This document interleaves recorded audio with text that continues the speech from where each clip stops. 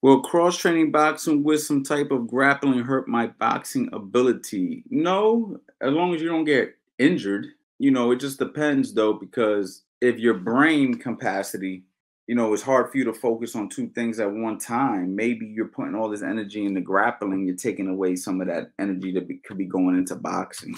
It shouldn't hurt you. It could just slow down your progress, I should say. You're grappling, something's gonna suffer Either the boxing's going to suffer or the grappling's going to suffer. But eventually, if you stick with both of them long enough, you will eventually get to where you're trying to go eventually.